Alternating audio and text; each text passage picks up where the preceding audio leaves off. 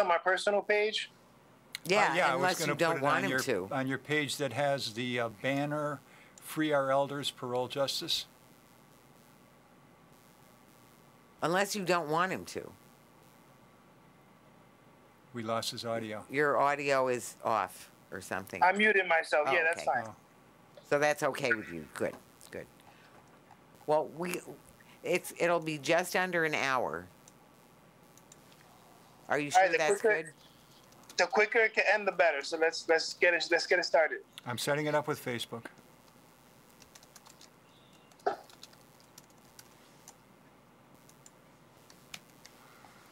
Okay, Facebook is happy that we're not putting out any misinformation. They said we're, we're good to go. Are you ready? Let's go. Okay, Okay. flip the switch. Is the light on over your shoulder? Yes. Put the clapper in front of your face. When you hit the clapper, you're on the air. Welcome, welcome to Talking Peace with uh, the Western New York Peace Center, and in this case also um, the Interfaith Peace Network.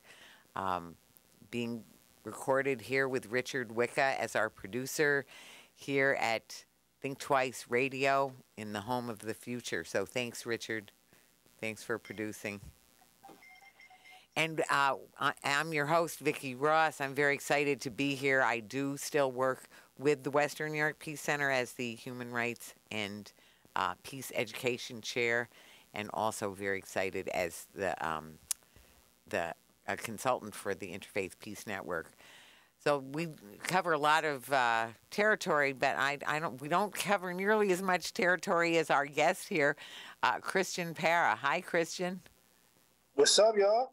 I, I, I, I'm just excited that you managed to squeeze us in in between your, um, uh, your organizing and activism over so many um, counties and probably states. You know, I, I know you're very, very busy, right?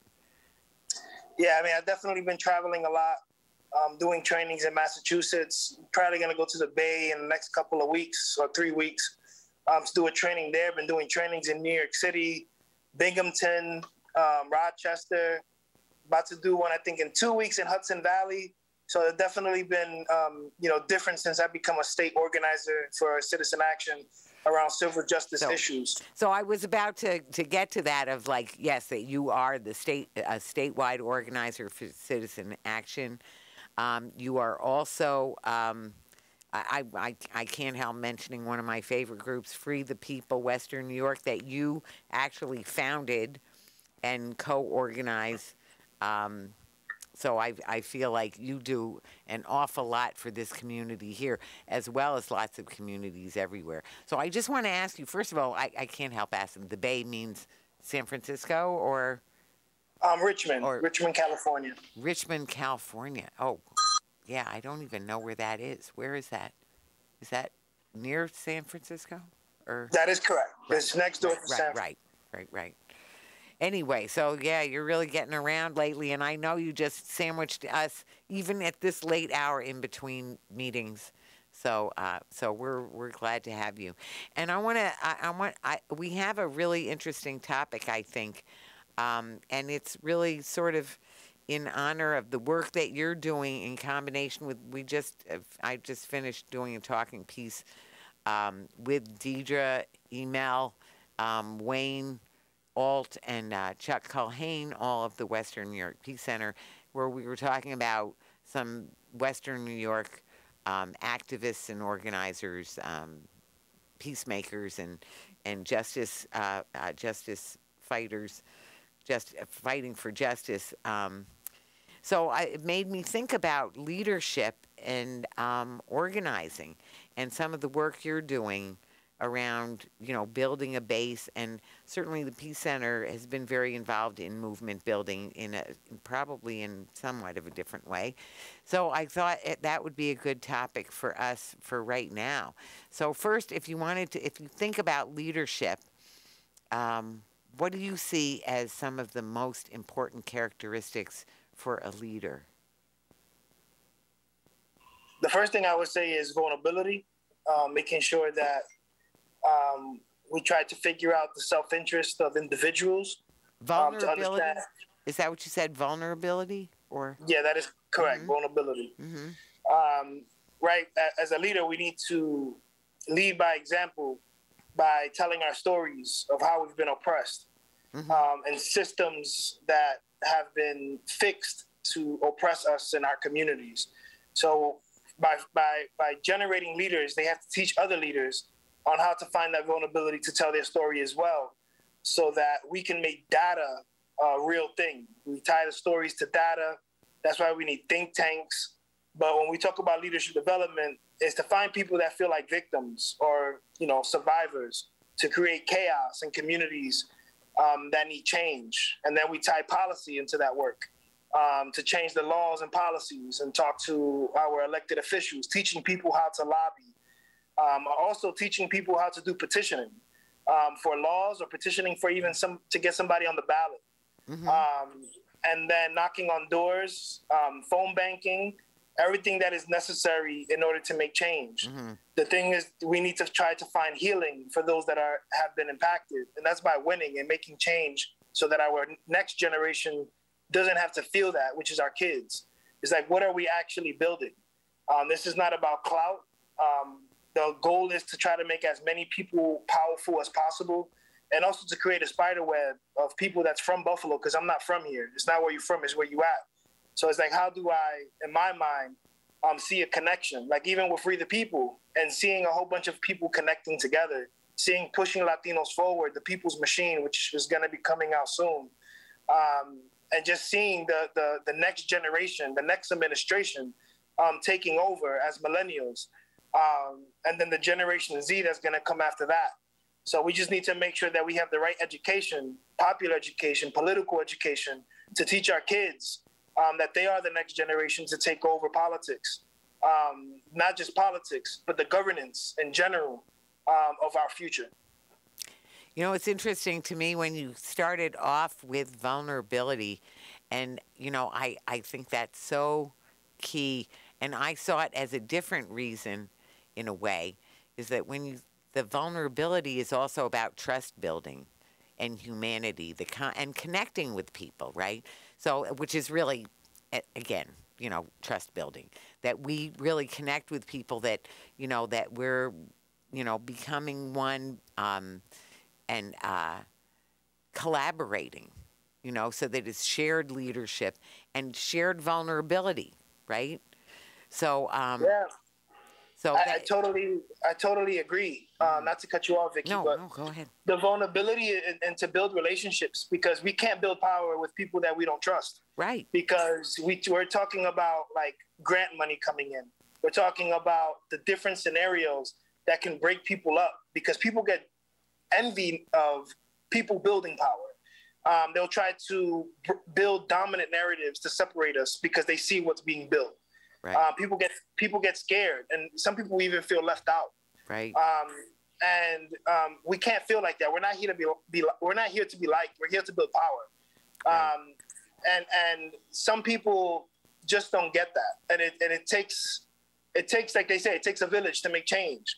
Um, but but sometimes people let the dominant narrative separate us, and and we have to understand that we need to try to find restorative practice um, in a way that we do find peace and love and healing in a space whenever there's tension, because we don't have time to let people separate us at this moment, especially um, during uh, pandemic, but not just a pandemic of coronavirus, a pandemic of homelessness. Um, what's about to happen um, in the next, you know, it's already happening. Um, the the rates of um, evictions are happening Right. super super fast, and I've seen it. It's being done in Rochester, Hudson Valley, Binghamton. It's being done around the whole entire state. Imagine the country. So, this is a time that we need to unite through tensions um, and break those tensions and try to find a way to um, find restorative practice in everything that we do. Well, it's again, you're reminding me of another word that I bet you're going to connect with that is related to all of that. So, in terms of leadership, in terms of authenticity, right? because that's the other thing because ego can get in there or something and back to the trust thing or or or the shared power thing it, then that means that the leaders well it makes me think of gandhi actually gandhi said you know a true leader is a servant of all and in terms of being authentic you know you have to uh, lay your ego down you know, to be a, a good leader, to be a good leader. I, you can be a leader and be up there all puffed out. And I, I don't want to mention any of the bad examples that we've seen, and there are a plenty because the ego gets fed like a bonfire. And that's when the leadership may have started off with some real authenticity, may have started off with some real genuine caring, and then the, the ego has taken over and um, power corrupts and absolute power corrupts absolutely. So that's where the authenticity. And Gandhi was one who actually, when he wrote his autobiography, wrote all these things about his failings and his his weaknesses and um, his mistakes. And people said, "Why are you doing that? Don't do that. Are you crazy?" You know. And he's like, "No, this is what has to be in here. This is this is what's needed for a leader." You know and that's that's just what you said back to the vulnerability making yourself vulnerable owning up to your mistakes being a good role model being a good friend you know being somebody that can be depended on and counted on. Yeah like i, I dealt with a lot of narratives because the fact that you know citizen action didn't endorse india walton. Um, and you know really? you know and and i've been trying my hardest, you know, mm-hmm. to for that to happen, and to see the leadership development that's being done through her campaign and the healing that's being done through her campaign has been historic. Um, right. And and you know, people are, are, are being uplifted in movement politics right now. Mm-hmm. And um, the last show that I was actually on was with her uh, on, on this show. Um, and you know, really, I, am just glad that I'm able. I'm, I'm just glad that I'm able to help out with the Working Families Party as a member, um, which I think people should join. We should be uplifting the Working Families Party because we also seen what the Democratic Party did um, by even excluding, you know, India Walton to have the Working Families Party line. Right. Um, and we we need to uplift the the the empowerment that we're getting from the different organizations that are putting, you know, their foot down um, to show like we, we are trying to be as progressive as possible. Right. Um, and you know there there's organizations that sometimes hurt, and it's not that they do it intentionally. It's just the fact that they are moving in, in a way that they're writing the work rather than doing the work, and and and th- that's problematic. So I want to say, first of all, I need to say, Interfaith Peace Network, 501c3, uh, under the Riverside Salem com- umbrella, by the way. Riverside Salem um, United Church of Christ and uh, Disciples of Christ. So, so the IPN is a 501c3. The uh, inter, excuse me, the Interfaith Peace Network is a 501c3, and the um, Western New York Peace Center is 501c3 also. But one of the things that I see is that, uh, first of all, so a 501c3 is not allowed to have an opinion, right? Well, of course, Citizen Action is a 501c4, right? And it has a three and a four, doesn't it? I know. It oh, has a four. Our our C3 is A is AQE. Oh, okay. I should have known that. I should have known that, and we should have been yeah, more, Alliance more involved. For quality with, education. We should yeah. be more involved with AQE than we have been. It's just a question of bandwidth.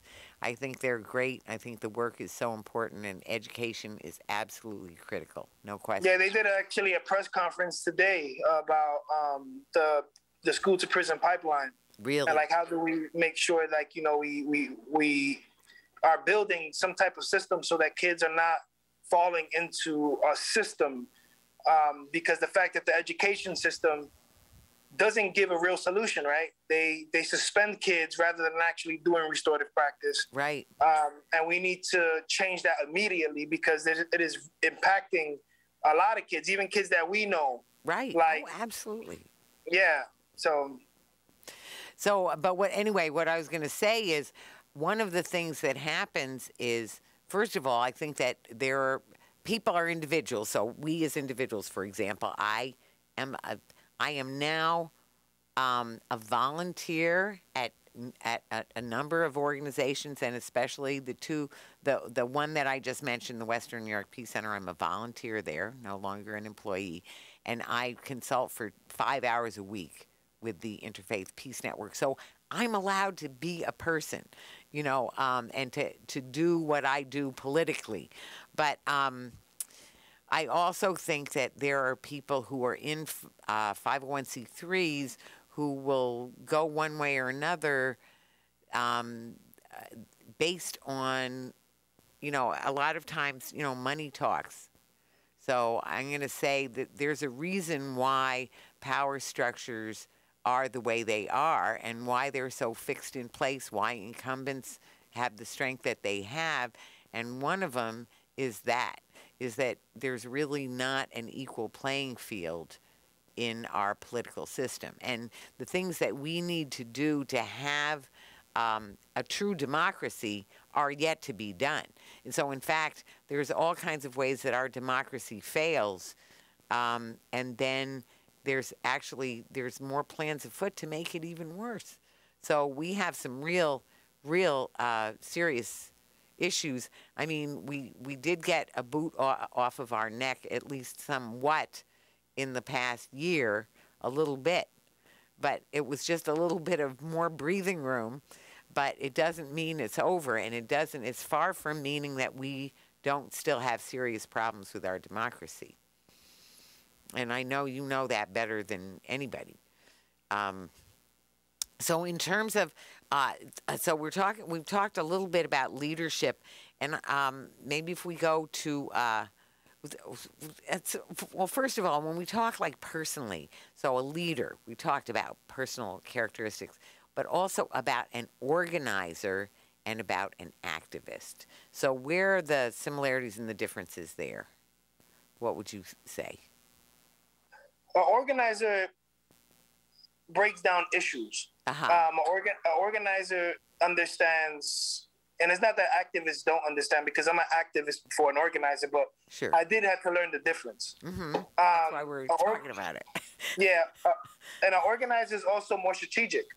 Mm-hmm. Um, they write down their strategy charts um, to figure out who their targets are, mm-hmm. what are the tactics that need to be used, um, starting with lobbying or even escalation to direct action. Mm-hmm. Um, like when we say like protest the power, um, it's more they have a reasoning of why they are doing acts of activism.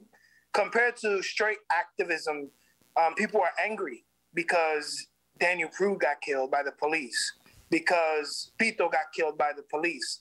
So they're going to react. Meech got killed by the police.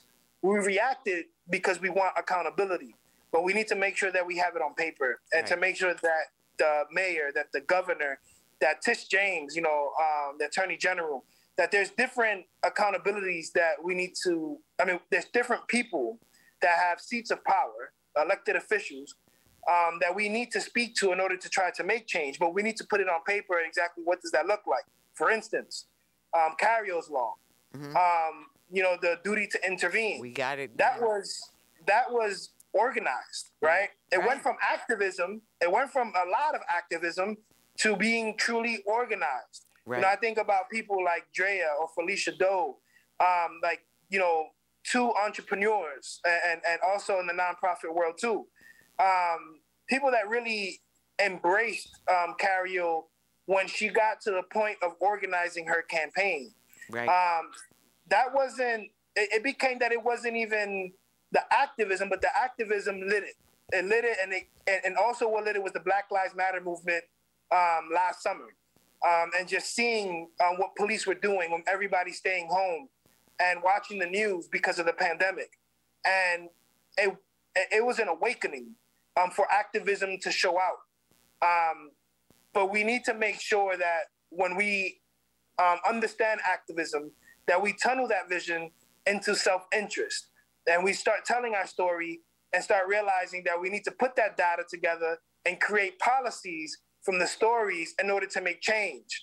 And once policies are created, then we have to talk to the, if it's city, then we talk to the city council.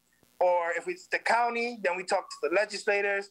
If it's a state issue and we have enough organizations throughout the state, coalition work, um, to actually organize all of the different organizations to lobby their state elected officials, whether that's state assembly or state senate. Mm-hmm.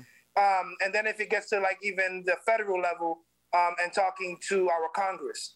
So to me, it depends on like when we talk about organizing and how we break down issues to create policies and put things into law, um, like Cariol's law.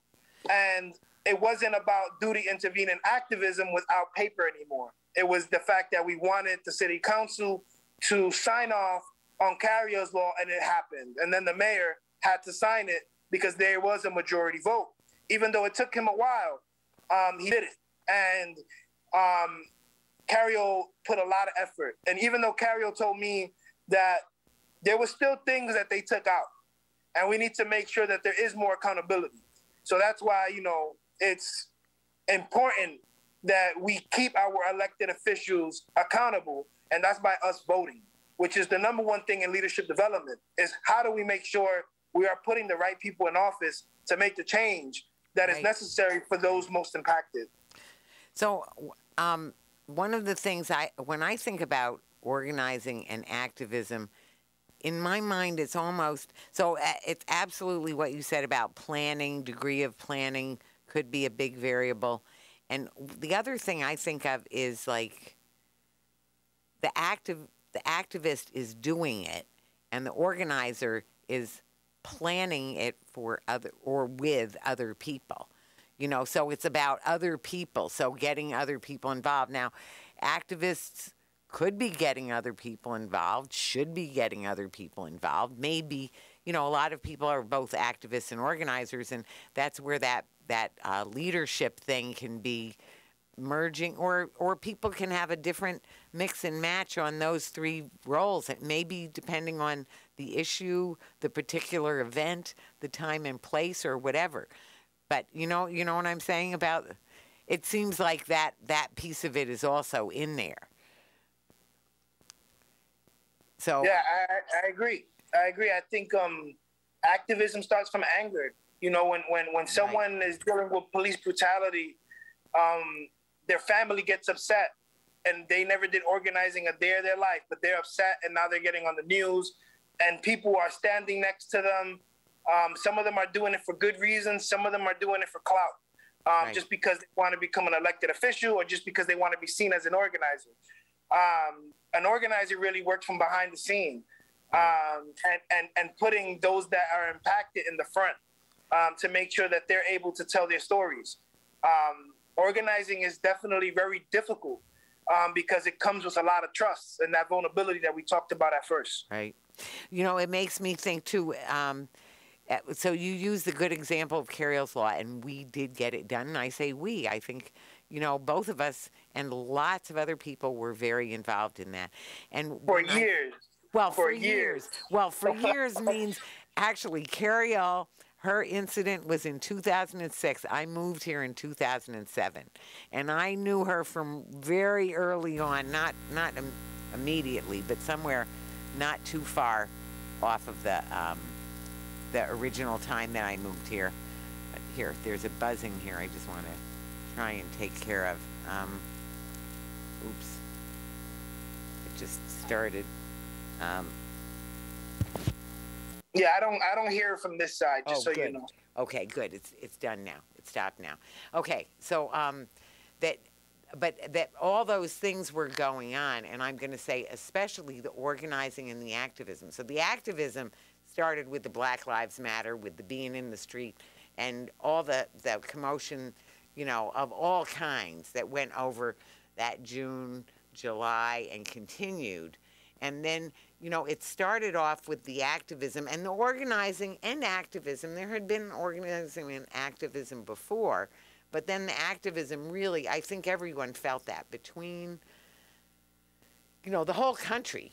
Really, there was an there was an awakening there was a realization, and so it was an uh, you know crisis equal to opportunity. So that activism paired up with the organizing that started to happen, the legal help that started to happen, and really just it it, just started to you know um, get in gear, and you know, and that change was made. And there's still you know elements that are needed, like you said, if Not every single bit of it came through the way it was supposed to. Also, Buffalo is just one place. Also, the difference between a law and implementation, right? Which is yet another thing.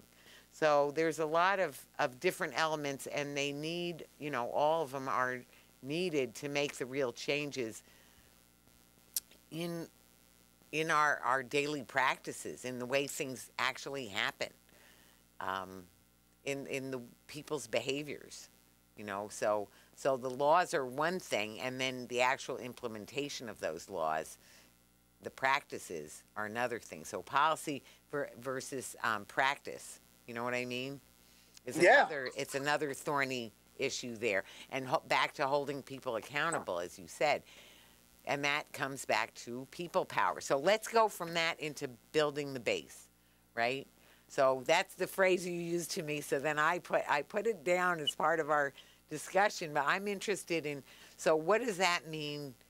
What does that mean? Building the base. So for me, um, you know, building the base starts with one-on-ones, what we call an organizing, to figure out people's self-interest. hmm First, we have to figure out like how to be selfish, and and, and what I mean by that is like vacations, spending time with your kids, um, doing pedicures, whatever it is to take care of yourself. Not Mhm. selfishness in a way. I mean, selfishness in a way that is greediness. And then there's selflessness, right? Taking care of the community, taking care of others. Mhm. But we can't caretake everybody because we have to take care of ourselves. Right. And then there's self-interest. hmm So the question is, are we getting self-interested with the community because we truly understand what they've been through, and it's how do we actually empower them? So through that, we do propositions. Propositions is not just you know asking somebody to do something, but putting somebody into a role, a role that actually brings accountability. Uh, um, and from there, they feel involved. They feel like they're in the movement to the point that some of them actually get employed by the nonprofit world um, to do activism work, right? Because it's a privilege to get paid to, to organize. Right. So whenever I see an organizer always complaining, oh, I don't like this organization, no matter what, you're getting paid to organize. It's a privilege. So get it done. Um, and, you know, for me, if we're a paid organizer and we're not empowering the community and get, getting self-interested with the community, we're not organizing. We need to make sure that everybody is working with us um, step by step. And basically from there, after doing propositions, um, making list of accountability. Um, and and what I mean by list of accountability, I mean um, um, I mean like strategy charts um, to make sure that people are taking ownership of things. Things like note taking, things like setting up the lobby visits, um, things like who's writing the policies, um, and and really strategizing throughout the whole entire what we call campaigns, um, like Cariol's Law or solitary confinement, or releasing aging people in prison, Right. or the Community Climate Investment Act, and so many different um, campaigns that we are trying to implement um, in legislation so that we are able to succeed and change the worldview of people in our communities to understand that we are living in an extractive economy and that we need to get to a regenerative economy where we think about cooperations, I mean, co ops, where we're thinking about ownership, um, we're thinking about free energy, um, we're thinking about the ways that um, a community builds um, community wealth. Because there are too many people with generational wealth, um, which becomes the 1%, that becomes very extractive if they're not giving away money. But some of them actually do give away money, right? Because building power, you also have to organize money. And that's organizing philanthropists. And philanthropists have generational wealth to the point that they actually give money to nonprofits or to organizations as donations um, with no um, with no MOU, which means um, basically not putting any accountability towards the money because some grant money has things that you have to um, achieve in order to continue getting the money. Sure. Um, so the thing is, like you know, and, and when organizing people, we don't just think about um, organizing impacted people. We have to organize millionaires, billionaires. We have to organize the middle class. We have to organize everybody so that everybody is shifting worldview. So that when voting comes, we're voting for the right people to empower our communities.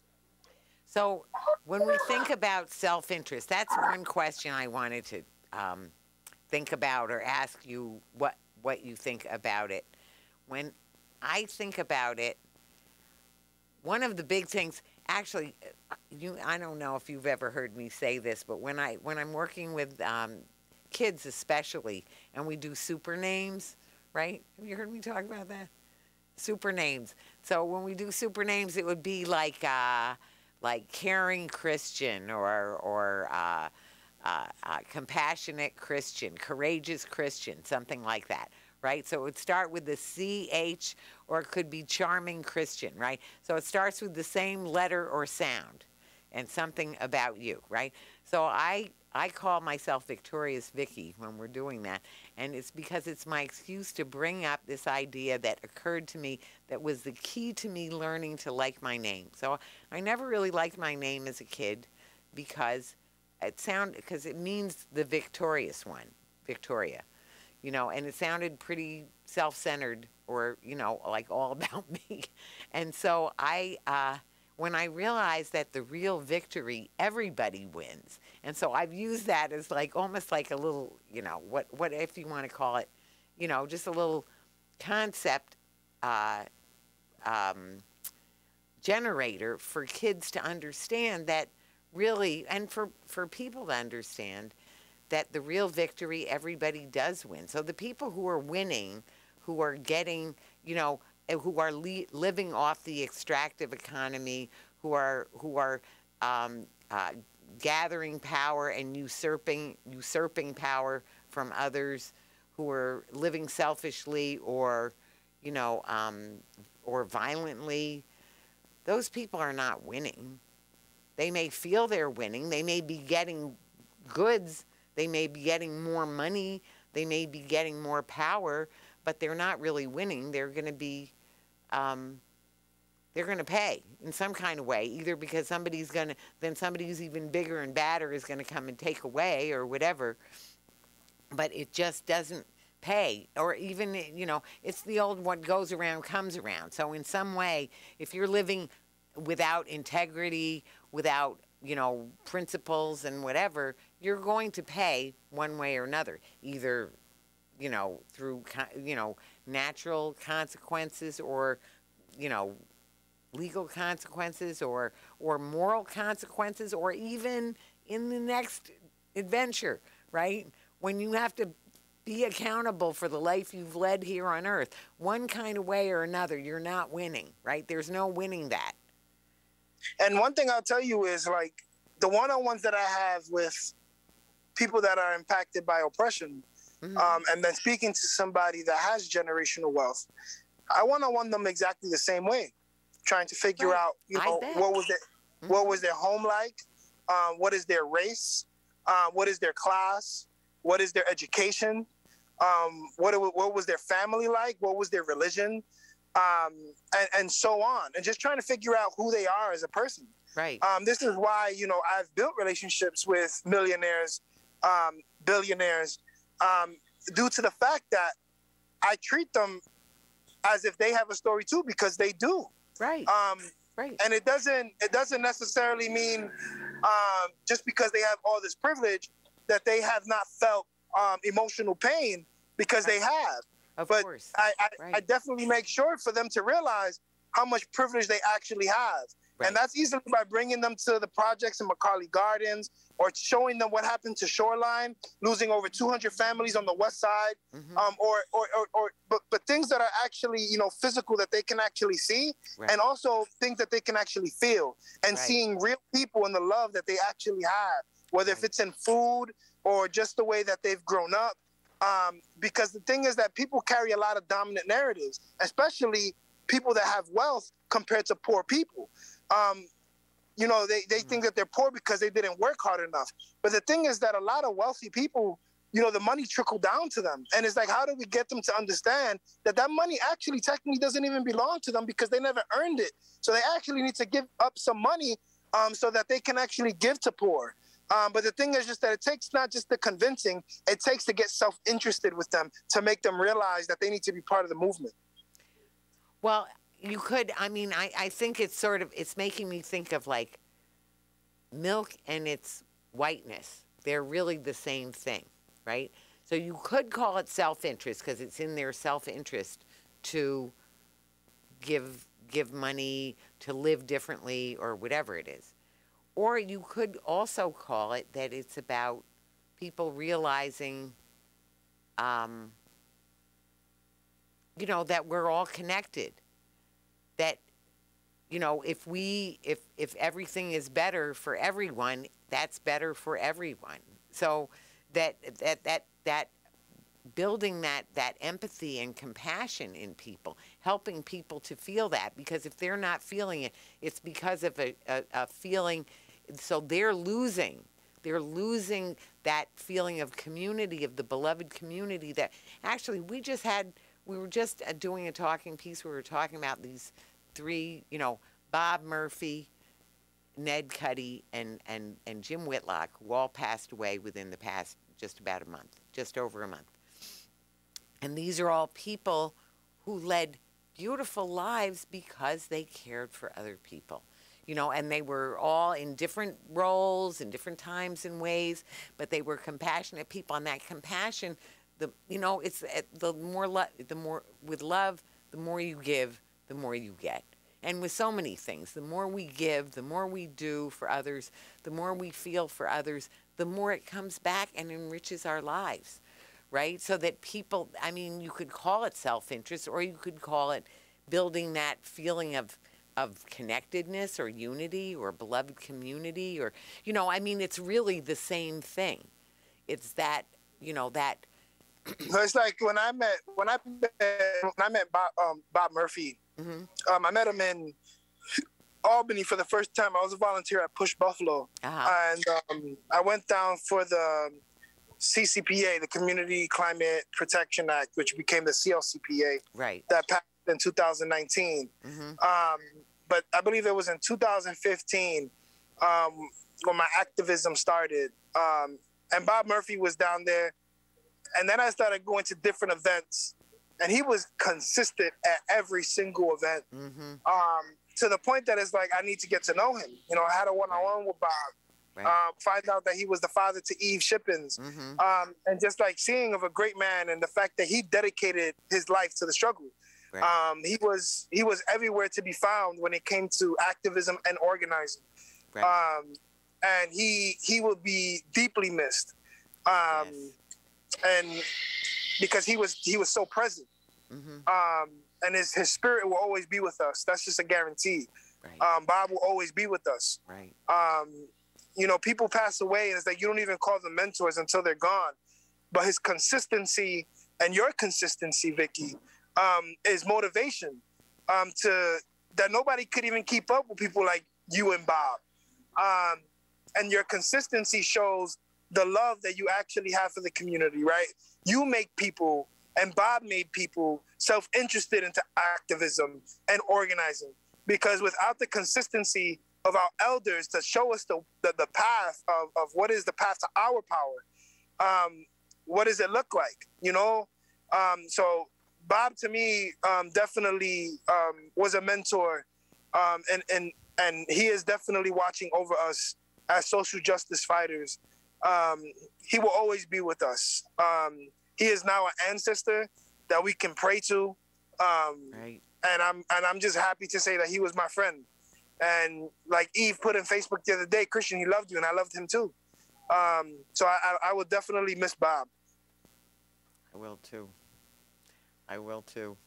And I want to say uh, it's that that and he did it back to, you know, he did it for the love of the people, for the love yeah. of the community, for the the the passion, for the the the justice for people, for the living for for putting people first, for putting people on the planet first, which he always did. He always did. You know, and just that caring, gentle way he did it. Yeah, he even he was always with Cariol as well. Right. He's one of the big um, people that always stood by um, Cariol's um, law. Sure. Um, before you know, we we we even made it. You know, the grant that it became. Mm-hmm. Um, I mean the campaign that it became right. in 2019. Right. Um, sorry, 2020. But the the point is that Bob consistency with everybody. Um, nobody could ever even say that he was rude. Like he was a genuine man. I'm, I, I don't want to get too emotional because Yeah, I'll start no, crying because no, I, no, I miss no, him. I don't. Yeah, yeah, I know, I know. Yep, it's hard. It's hard, except that we, you know, they they they're how we inspire ourselves to to, you know, show to show that kind of compassion to to take that kind of uh, dedication and and to to live on, you know, do the things that they would do if they were here to do them. You know, do the Yep. things that they were doing right along, you know. Yeah. and I, and I, that's why I say Bob is with us because Right. that consistency that he brought, like where, where Bob is in us. There's nothing that we could even like. We can never take that away. Um, if we were ever, because I can say that I was with him at at least 50 different spaces, Mm-hmm. um, um, because his consistency was always there, and he was more consistent than that. Right. Well, here's the other thing, though, I want to say, because I think about little Christian, right? So it's also about that. It's about the, you know, and this is from our, our, our indigenous brothers and sisters thinking about the seventh generation. But so for our children or for our children's children or for other people's children and other people's children's children, children, you know, Yeah. we think about how, how, what do they need? What are they going to need? What do we need to do so that, so that life will continue in this creation in a way that is, you know, a beautiful thing because there is so much beauty in the world if we can keep it. You know, if Yeah. we can if we can do the things that we need to do. And I do feel that, you know, that you could say it's our self-interest because it's about the people we care about or Mhm. it's not about or it's about them and our interest for them, you know, that it's about the beloved community that we want to see thrive and happy and and have what they need, you know, Yeah. everybody. So Like um, even in my self interest is to find people with mental illness and empower them. You know, like for for me, you know, for someone that was suicidal, mhm. um, and just the fact that I am empowered, um, and the fact that I know that I have to have a clear mind now, Right. especially because because of my son, um, and showing him the way. Um, and I think about like the Lion King when he's on top of the rocks and the mountain, yes. and he's like, "You don't go to that side." Um, it's it's the influence that we've become um, for those that um, feel like they don't have hope anymore. But I don't like to give hope. I give empowerment. Right. Um, get people involved. I don't tell people I'm going to help them. I tell them they got to get involved. exactly. Um, so it's it's it's definitely like my son is definitely my biggest motivation. He's the reason why I'm in Buffalo. right. Um, and you know, and yeah, so it's it's a lot, and it's you know, my son writes about Black Lives Matter. He wrote about what happened in the Capitol.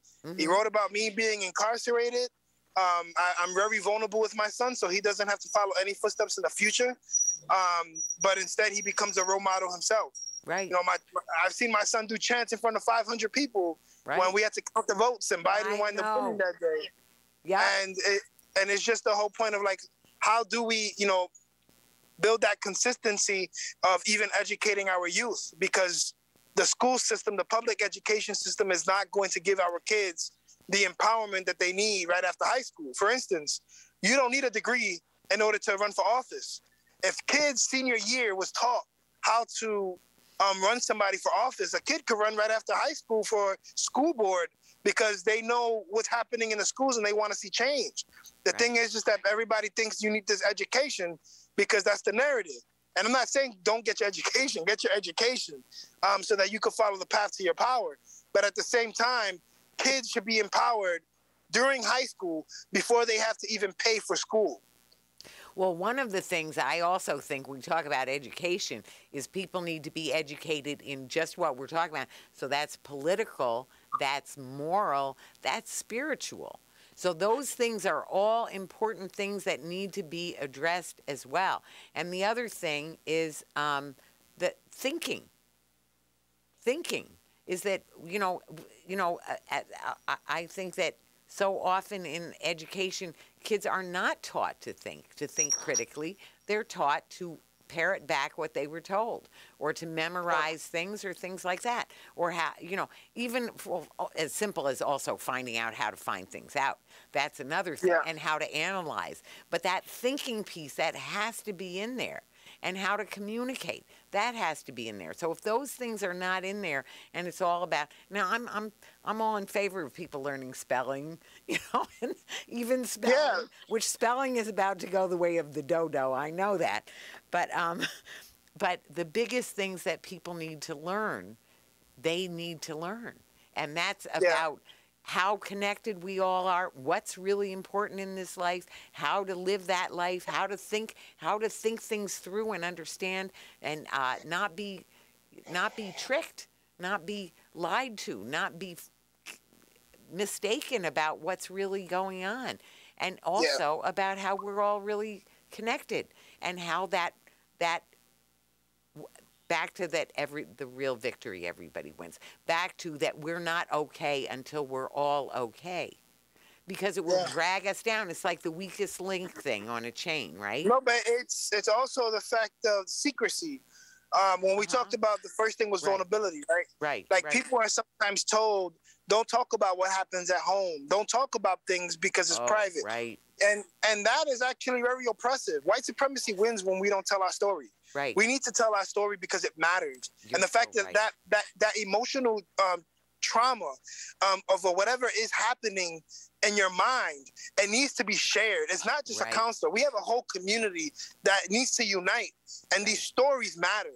And it's time for everybody to start telling their stories because if they just keep it in their mind, it is going to defeat them. They are not going to feel liberated, so they can't liberate anybody and fight for anybody. They can't even fight for their community because they're living in pain. And the thing is, if we let people live in pain, then that means that they cannot be healed. And we need to find healing space for everybody um, to tell their story. No more secrecy because if not, white supremacy wins. You know, I, I want I want to add to that one little piece is sometimes you know as a social worker, which I, I am a social worker, we talk a lot about trauma, right? So shame is the subtle trauma. So the trauma of feeling shame, like it's my fault, like don't tell anybody, like keep these big secrets, and that's where the that that is so traumatizing because with shame, then you're on attack from within. Yeah. So you're you're you're giving all your bad messages, all these things that have been told to us that we're no good or we should be ashamed or you know all these things. Those we're we're being attacked by those thoughts, and that is by itself traumatizing. So it's like Yeah. re-traumatizing. because So- the thing is, if you don't talk about it, it could continue happening, right? exactly And, it, sure and, and if it continue happening, it's like you could have stopped it at an earlier age right um, because trauma is super real. And the thing is that it impacts in real ways, especially if it's happening for five years, 10 years, 15 years. And then you finally tell somebody, no, find your liberation as quick as possible. Activism doesn't start because of what's happening in the streets. Activism starts from your own house. Politics start from your own house. Decision making starts from your own house. Right. You are your own decision maker in your own ecosystem. So we have to make sure that we understand that politics is not just in City Hall, it No, starts from your own home. Right, right. Well, it's about a way of doing things and sh- sh- sharing power, sharing power, having power, and sharing power, and um, and and then you know, well, I, I I'm going to say I bring it back to truth and love. So we, we need to know the truth about what's happening. So that's back to what we said about analysis, about uh, not lack, uh, not having secrecy, yes, having authenticity or vulnerability, right? So all those things, and then um, that's the truth. And then the love is the compassion and the sharing Mhm. and the and the caring for the beloved community and making sure everybody is going to be okay and that the unequalness is not okay and that the injustices are not going to stand and back to as we've seen and as we've said is that when some groups are are oppressed and penalized other groups are too you know it's the old uh, oh oh what was his name who said the the thing about you know well first they came for this one and then i said nothing and then they came for these ones and then i said nothing Ma, what was it Mal, Ma, i can't remember his name, but whatever it was, it it's back to that we're all connected, and injustice anywhere is a threat to justice everywhere. That's what Dr. King said. So he also said, Yeah. yeah, that unarmed truth, unarmed truth, and unconditional love will. I get this from John Washington was the first one I saw quoting that. Is Dr. King's thing that he said, I believe that unarmed truth and unconditional love will have the final word in reality. That is Actually, why. Yeah, go ahead. I'm meeting with John Washington right now. you and, um, are. Is he? yeah, he's in the now? room. He's in the Yeah. room waiting for you. Well, I know now we have about five more minutes. Just five. If you have you got five more minutes.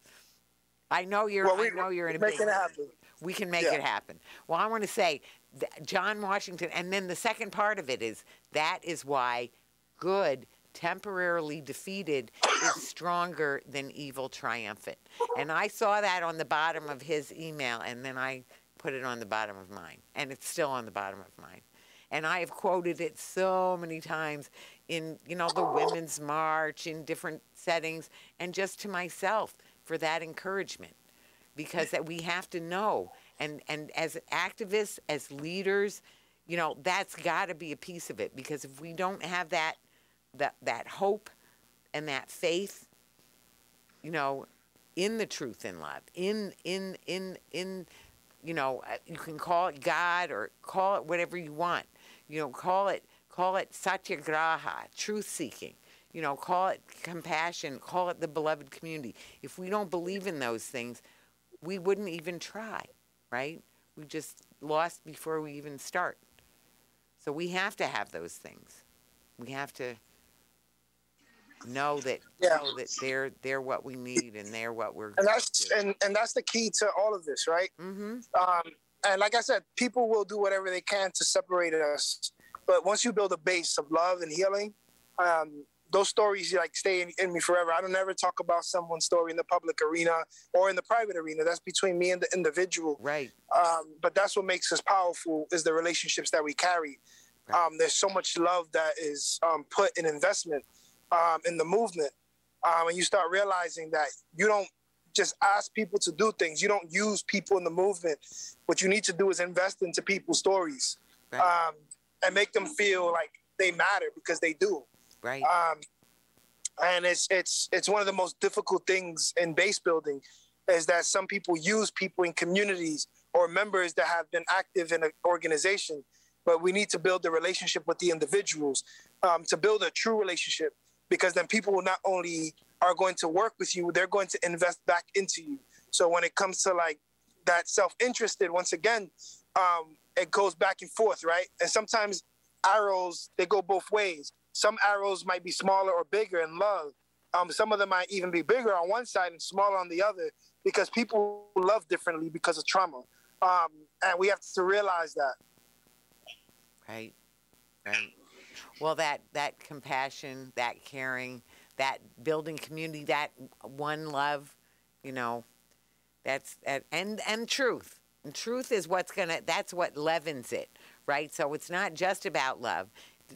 Truth is got to be in there, and that is the other key element. That So is truth that about- is Yeah. Yeah. that is that is very accurate. Um, right? You've never seen me make a lie. I've never lied to anybody. Um, even if somebody puts a narrative on me that's not true, um, my base loves me and knows who I am. right. Um, because in organizing, um, people can envy in a way because of the way some certain people move. But I've always moved with authenticity, and and, I, and I'm sorry I'm making I statements, but we as a community move with authenticity, authenticity, um, and in the sense of the base that has been built, um, and the family that I have created here in Buffalo because I'm not from here. It's not where you're from, is where you at. And the Oh, fact that I was able to, and the, and the fact that I was able, and you too, and the fact that we're able to build a community around us that loves us um, is priceless. And I think that's what gives me the energy to continue doing what I do here in Buffalo because I love this community. Um, I also love the South Bronx where I'm from, and they love me Right. too. right. But I've learned to to to be loved.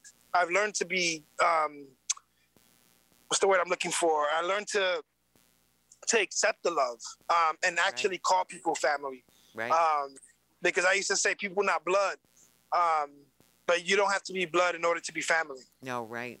And actually, here's what I want to say, especially as two of us who are transplantees into Buffalo, and I have, I myself have lived a lot of different places, but it's one, we're one, we are one. We are one. We are one in a way that we just can't, you know, it's one spirit. It's one, you know, so uh, this one world, you know, we're going to sink or swim together. With climate catastrophe, it's not picking and choosing, right? So that our different communities, they're all connected too. You know, so as we move and we build, we're building this this network. We're building, you know, we're building uh, locally, regionally, as you are, nationally and internationally, to to really be working together for the good of all, for the people on the planet. And I know you are so engaged in that. I'm so grateful. I'm so grateful that in spite of all the demands on your time and John Washington waiting for you right now, that that you yeah, find the time because of community. Yeah, this is this, but this is what we do, right? We sacrifice we do. time. You know, organizing is not a, a nine to five job. No. Um, this is organizing is a lifestyle. Um, right. And I'm just glad that um, organizing took me in. Um, after I got trained and understood that I've been organizing money and people my whole life, um, I needed to learn how to be a role model to my son. Um, and that's the way I'm going to die is, is what he remembers me as. And that's going to be a great father and a mentor to many. So absolutely. No question about it.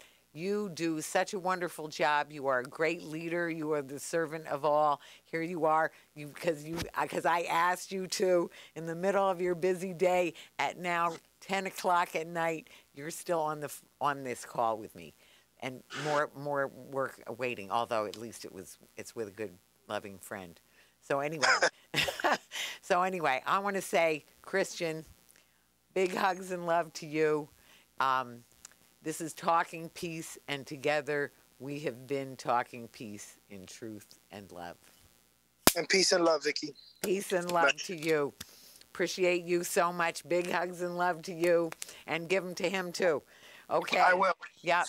So you take care. We'll scoot now. No, we won't belong it. Prolong it. It's been like give him a yeah. All right, Big I will. Love to you all. Bye for now. Bye.